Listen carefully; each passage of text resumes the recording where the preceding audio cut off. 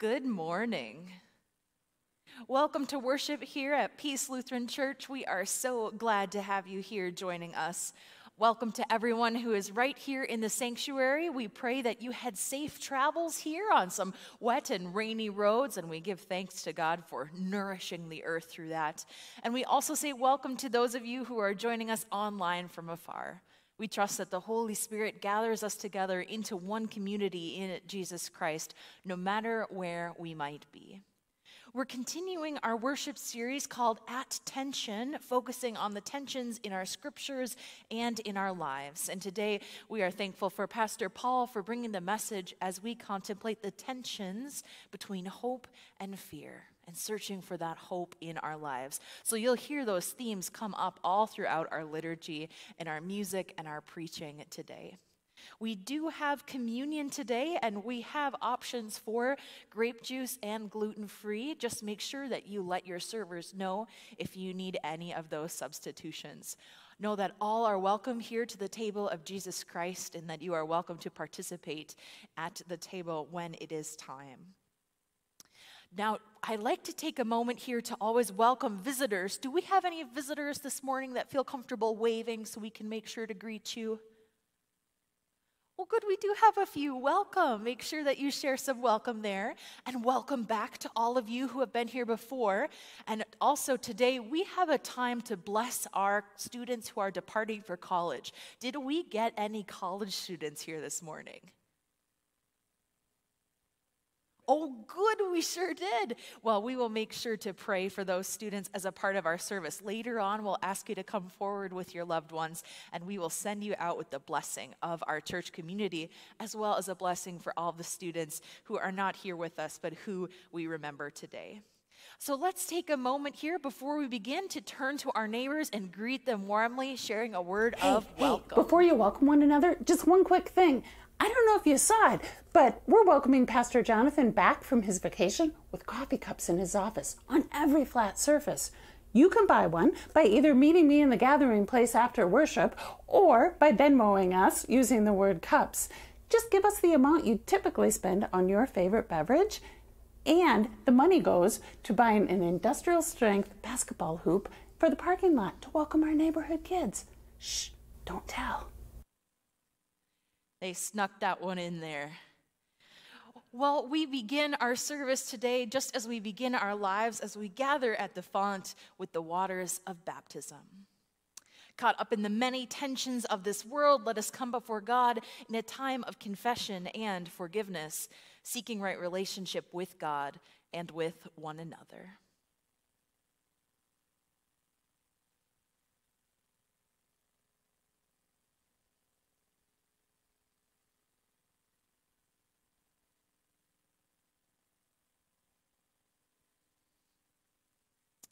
Please join me. Lord God, our attention is drawn elsewhere than you. We seek to comfort ourselves rather than live into your holy tension. We prioritize our safety rather than seeking out your justice. We protect our freedom over the needs of others. We close our eyes to the evil that injures this world we fail to care for our neighbors as well as ourselves. Forgive us, Lord God. Return our attention to you and your mission. Refocus our hearts and minds on Jesus, who teaches us your grace in abundance. Amen. Siblings in Christ, hear God's promise anew.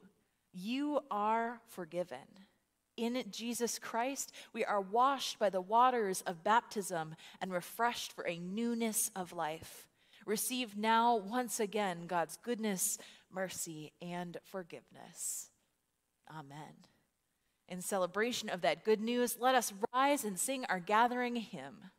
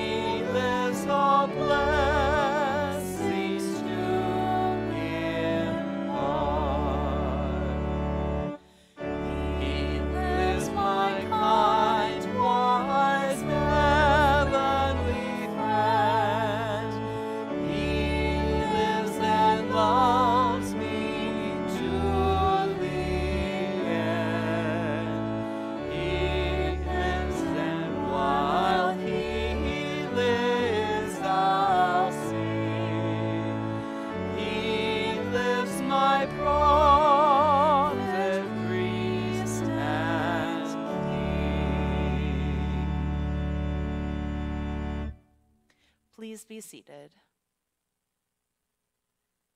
Let us pray together the words of our prayer of the day. Almighty God, you sent your Holy Spirit to be the life and light of your church. Open our hearts to the riches of your grace, that we may be ready to receive you wherever and whenever you appear. In Jesus Christ, our Savior and Lord. Amen. And I'd like to invite the kids who are here to come on up for a chance for us to get to visit together. Yeah, it's your time. Come on up. There we go. Hey, and you can, yeah, that looks good. We will see. I'm going to talk a little bit about school. You have a few more years to come for school, but are you going to school this year? Yeah, what grade are you going to do? Kindergarten. And how about you? Sixth grade. And you, you are love books. I can tell that right now. Well, I don't know if you know this about me, but I have kids. But uh, all my kids are, are, are big now. But when we first came to Sioux Falls, my oldest son was in second grade going to Oscar Howe. And I don't know if anybody are Oscar Howe people here, but Anyway, uh, his mom was a stay at home mom, but on this particular day, I think she had to take kids to doctor's appointments or something.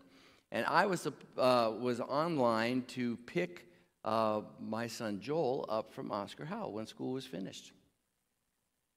Uh, well, let's just say that uh, uh, dear Mrs. Carbo, who was the secretary at Oscar Howe, uh, at some point had to call the church and say, uh, Pastor Paul, you have a son here ready to get picked up. I had forgotten. And so then I started to think about what that must have been like for him. You know, having, uh, expecting a mom or dad or somebody that he loved or trusted to be there, and nobody was showing up.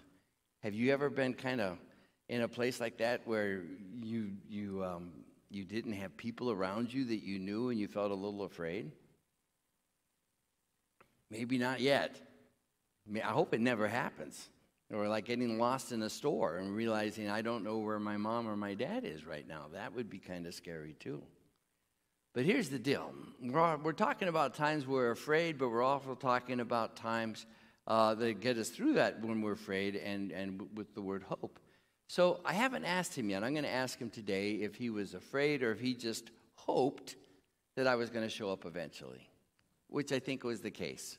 But it would not have happened if Mrs. Carwell hadn't called Pastor Paul. So, you know what? I think that also is that when we are in places where we are afraid, God knows how to send people to uh, come and, and help take care of us. Now, Joel didn't know Mrs. Carbo, but Mrs. Carbo loved kids, and he was in a safe place even when his dad wasn't there on time. And um, yeah, so he could, he could have hope that his dad would eventually show up, which I did, or he could have hope that no matter what, God was still there taking care of him with people like Mrs. Carbo. So that's just something to think about if you're ever in a place where you're feeling a little afraid. Let's pray. Lord Jesus, you've promised to be with us always. We thank you for the way you've been with these kids and for the way you have surrounded them with people who love them. Uh, help them when they are afraid to remember that you are right there and that uh, you will keep your promise never to leave them. All this we ask in your precious name. Amen. Well, thank you so much for coming up. I'll let you head on back.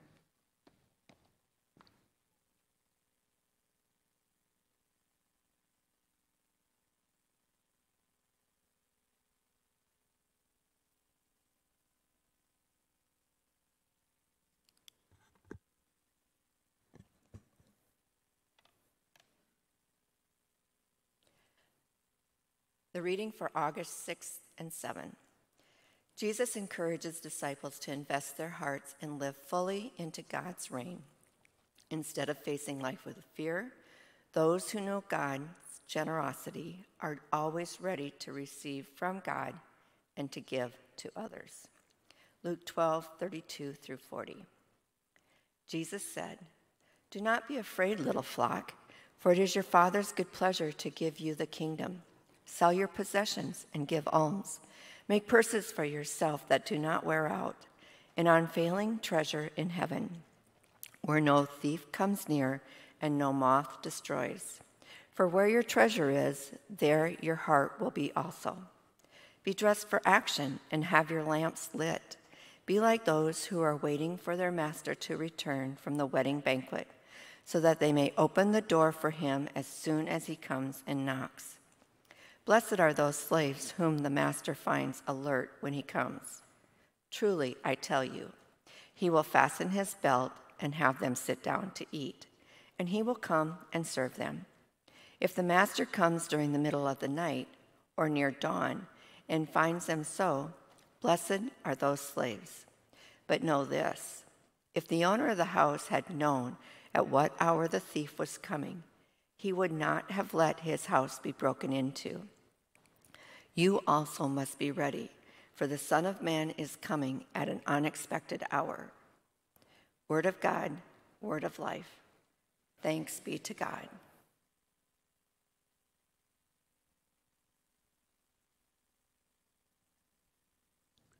Well, grace to you and peace from God our Father and from our Lord and Savior Jesus the Christ. Amen.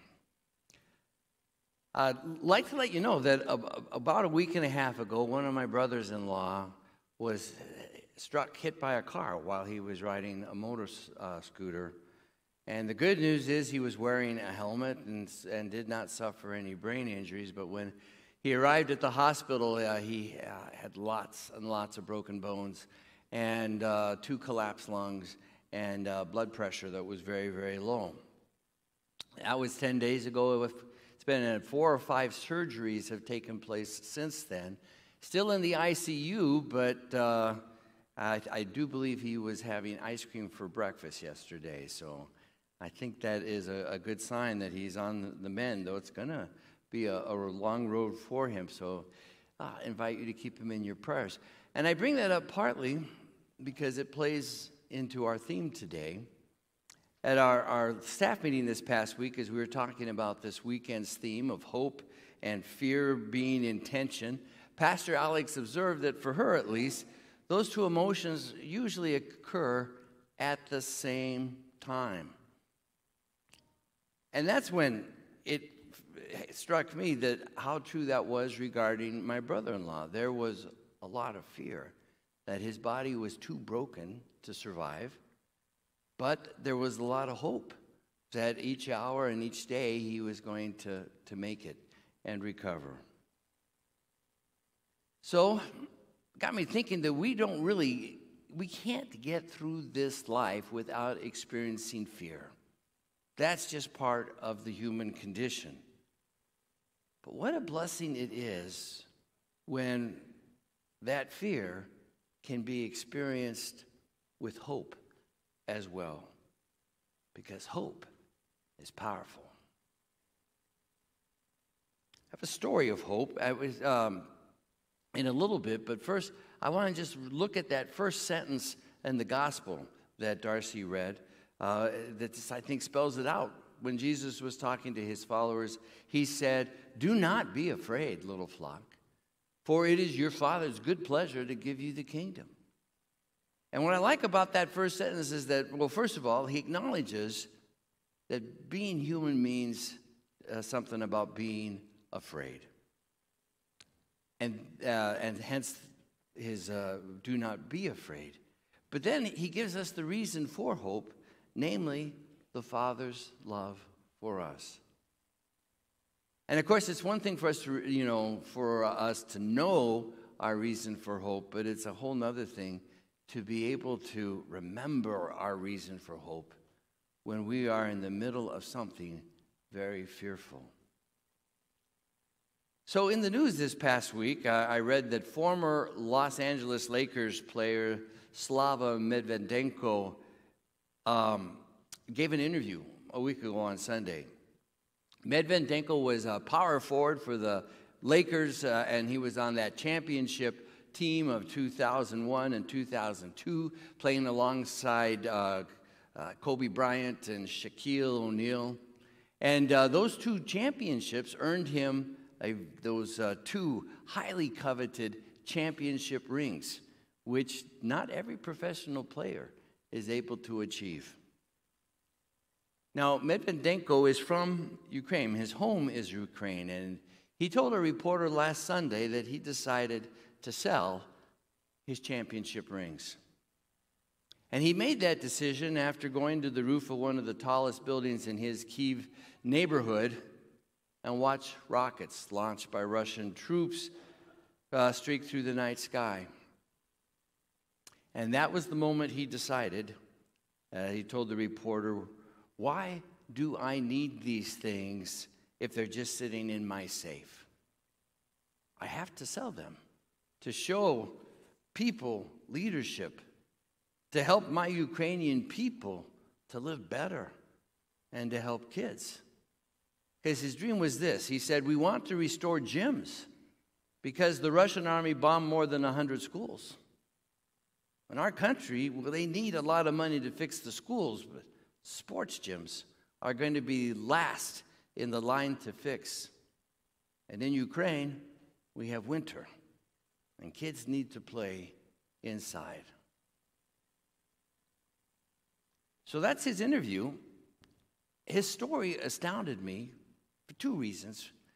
First, very much unlike the rich barn guy from last week's parable, Medvedenko decided to clean out his safe because someone else needed what he had.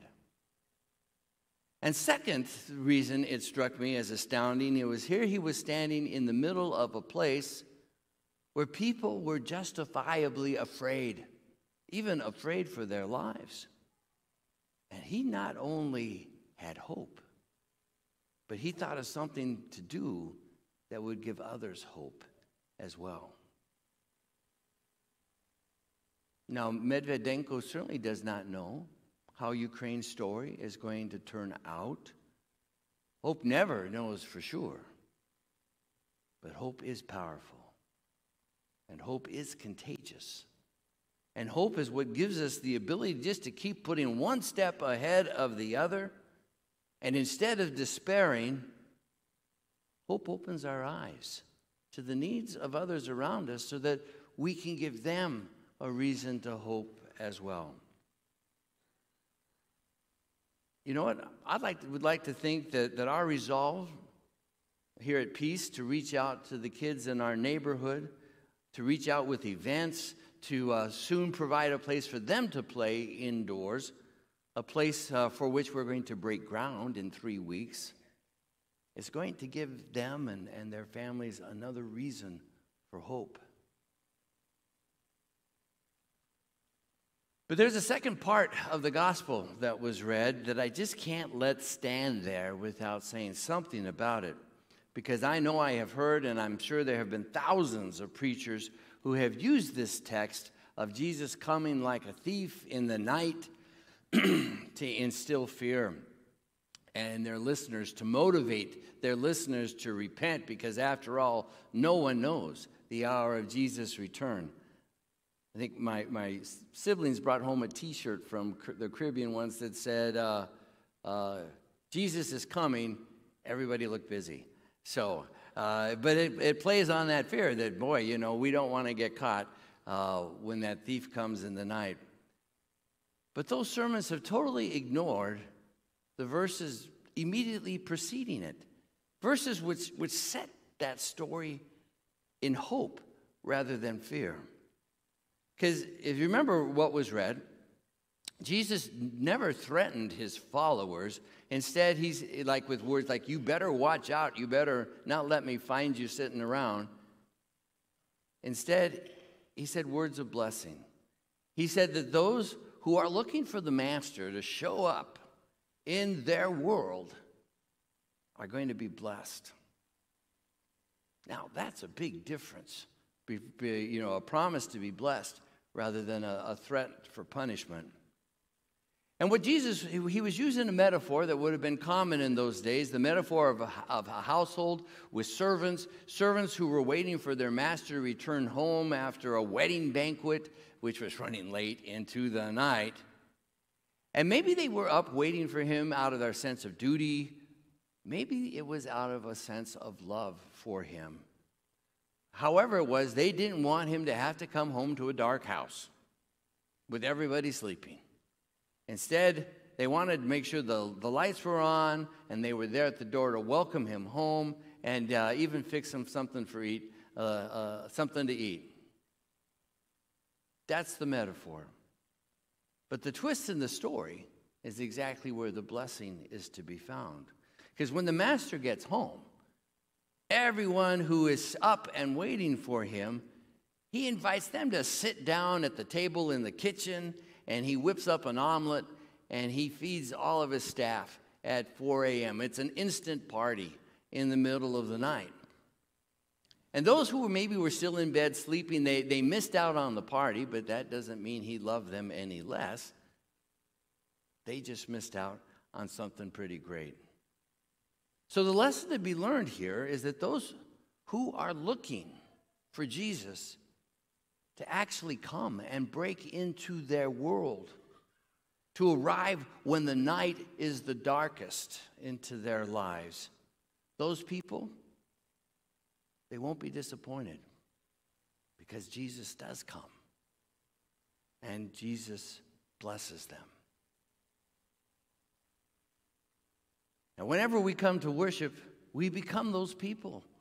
People who are looking for Jesus to come break into our world, to break into our lives, to give us a reason to have a party at 4 a.m. in the morning when the night is the darkest, to give us a reason for hope.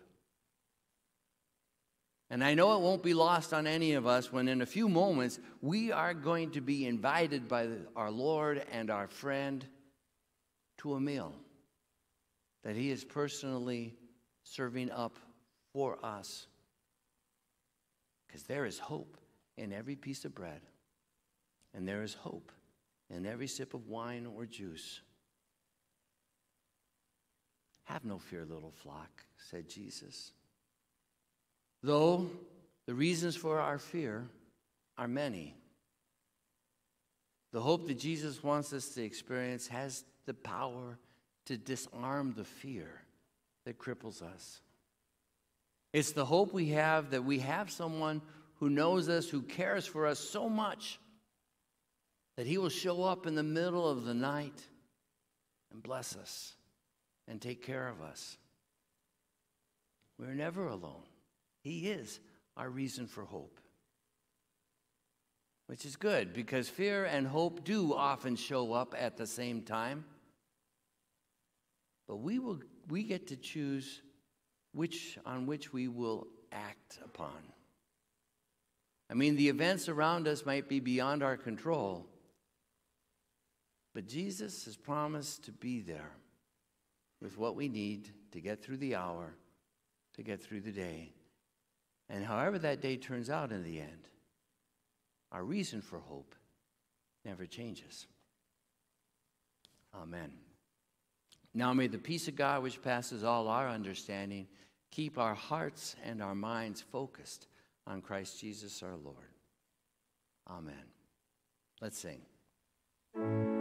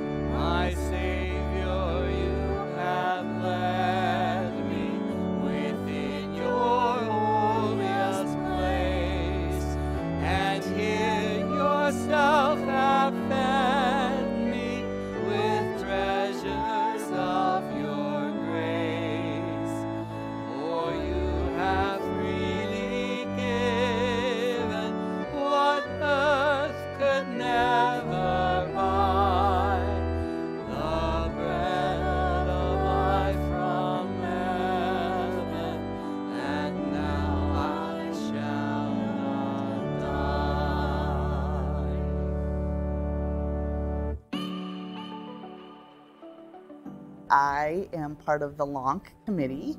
Our purpose is to love our neighbors and connect with our neighbors here at Peace. And the past few weeks, we've been getting together on Tuesday nights, and for an hour, we spend time playing um, chalk, bubbles, uh, games, uh, different activities. This last week, we had the police department and the fire department there for National Night Out. And I just think that God is working, the Holy Spirit is working in this um, by us showing up and not knowing that first week when we did this if we would have any kids show up. And that first week we had 20 to 25 kids that just came, and there is a need, and it's right here in our parking lot where we can see making those connections and and God is telling us that there's people that need us and that we can be helpful to them. We have kids that are standing and even families that are standing on the sidewalks waiting for that seven o'clock time to hit so that they can come over and play with us. And we've had several kids that yell at eight o'clock, I'll be back next week. They need to know that we care about them and that we connect with them. And we go home at night just thinking, wow, that was quite the experience to just be able to meet our neighbors, um, not our neighbors at our house, but our neighbors at our church that we care deeply about just as much as we do at home.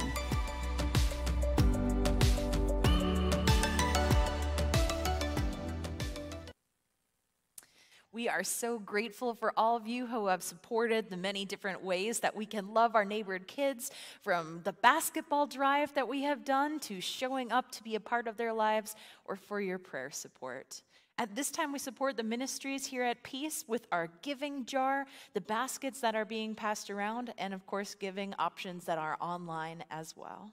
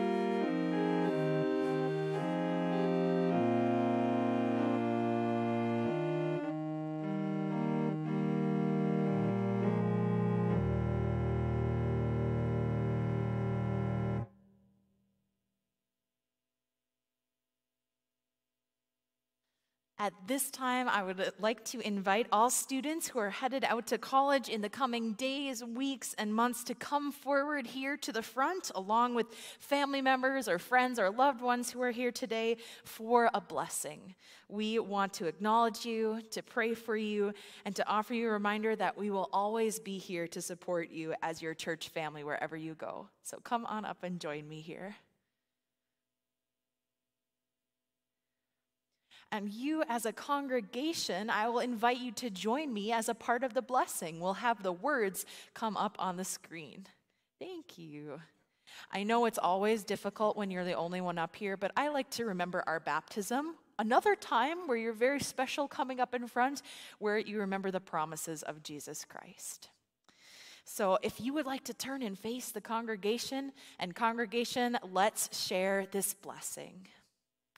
Holy God, please bless and protect these young people, your students, as they prepare to begin another year of their education. Keep them encouraged and full of hope. Fill them with focus so they know success. Grant them a mind of wisdom and truth in Christ. Stir up in them a heart and a passion for justice and give them your light to shine for all the world. God, we give you thanks for each of these young adults and how you have provided for them all of their lives. We thank you for giving them means for continuing education. We thank you for teachers, coaches, and mentors supporting them. We thank you for family and friends who walk with them. We thank you for a community of faith who holds them dear. Bless all of those whom they leave behind. Give them peace in this time of transition and guide them always home to your precious keeping so that they might know your mercy and love in Jesus Christ. We pray all of this in the name of Jesus, our Savior and Lord. Amen. As a part of this blessing, we want to share a gift with you. I want you to pick out one that you like here. These are some of our prayer squares that are made by our quilters here at Peace.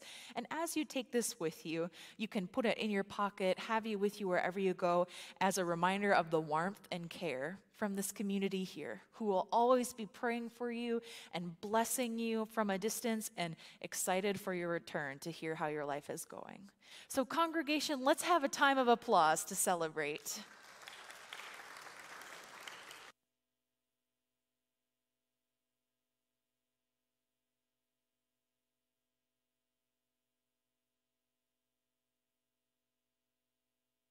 We continue our service now with our prayers of the church. Trusting in God's extraordinary love, let us draw near the Holy One in a time of trust and prayer, responding to each petition with the phrase, Lord, in your mercy, you hear our prayer.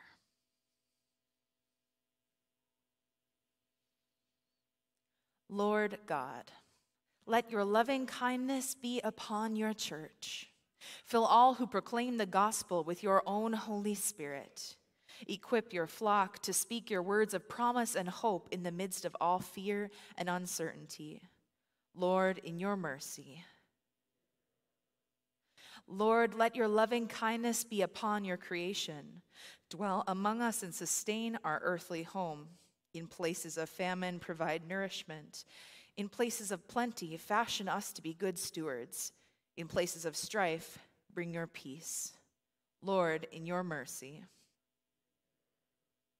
Lord, let your loving kindness be upon your children. Look to all who await your steadfast love. Console those who grieve and embrace all those who cry out to you. Today we pray for those members from Peace who are hospitalized, having surgery, or ill, including Emma Nye, Brandy Hummel, Rosalie Ovenden, Kay Bettine, Gail Carbo, Brent Batterman, Joanne Batterman, and Doug Knold. We also pray for extended family Dennis Zoss, father of Amanda Negebauer, and Bruce Mark, brother of Mylan.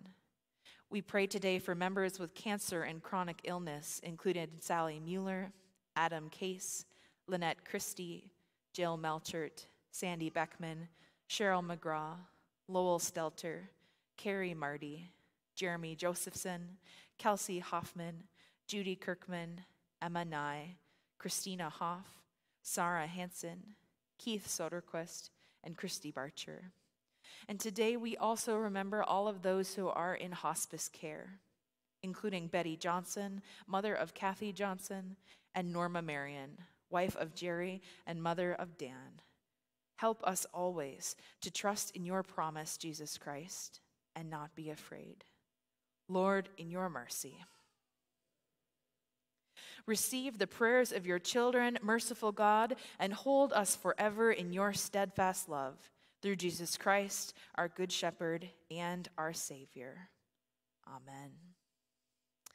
And just as we remember all of these in our prayers, we also remember the night in which he was betrayed. When our Lord Jesus Christ took bread, he gave thanks and broke it, and he gave it to them to eat, saying, This is my body given for you. Take this and eat. Do this in remembrance of me. And we remember also after supper when he took the cup, gave thanks, and gave it to his disciples to drink, saying, This cup is the new covenant in my blood, shed for you for the forgiveness of sins. Take this and drink. Do this in remembrance of me. Keeping in mind that great love and promise of Jesus Christ, we pray together the prayer that he taught us Our Father, who art in heaven, hallowed be thy name. Thy kingdom come, thy will be done, on earth as it is in heaven. Give us this day our daily bread, and forgive us our trespasses, as we forgive those who trespass against us. And lead us not into temptation, but deliver us from evil. For thine is the kingdom, and the power, and the glory, forever and ever. Amen. Come to the table. Jesus Christ invites you here.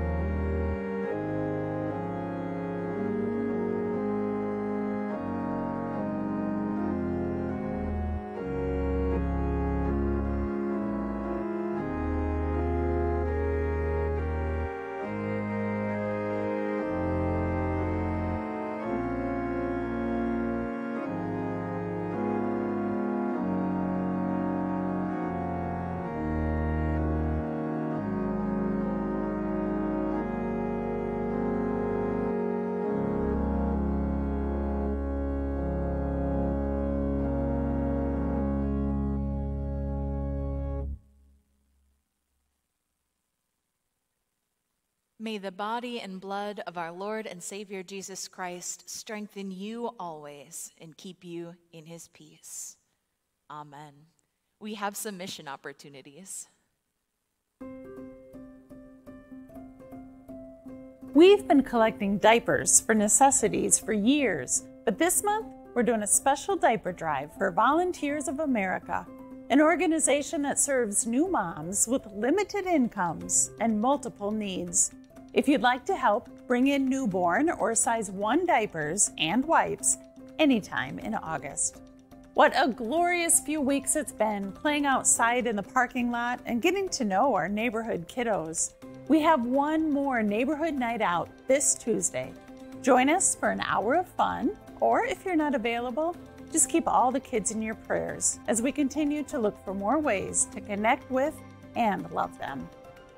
Peace is a caring community that loves to walk beside all people, including those who find themselves in need. Join us for the Feeding South Dakota distribution this Monday evening. It's great to be able to give away food but just as meaningful to show love to all of God's children through conversation and personal connections. And in addition to blessing our neighbors, let's also bless one another. Next Sunday, following lawn chair worship, we'll have a short service of pet blessing in our parking lot. Bring your furry friends on leashes or in carriers per city ordinance for some treats and some reminders of God's love for all living things. The following weekend, everyone headed back to school, no matter what age you might be, is invited to bring their backpack or bag for a blessing as you prepare to start another year of learning and fun.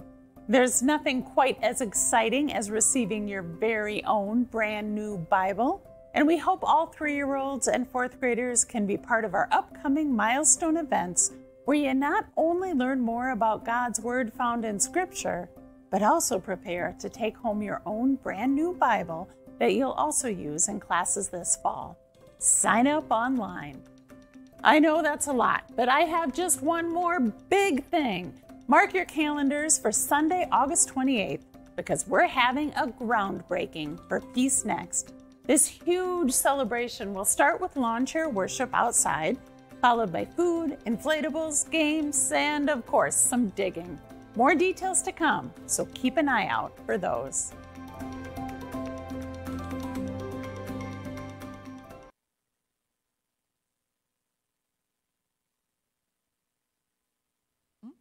We have so many wonderful ways to get involved here at Peace, and so we hope that you can be a part of those when available. Now, at this time, let us rise and bless one another with our prayer of good courage. Lord God, you have called your servants to ventures of which we cannot see the ending, by paths as yet untrodden, through perils unknown. Give us faith to go out with good courage, not knowing where we go, but only that your hand is leading us and your love supporting us. Through Jesus Christ our Lord. Amen. And now, as you go out to face many trials and tensions, know also that God's loving care and attention goes with you. Amen. Thanks be to God. We sing our sending hymn.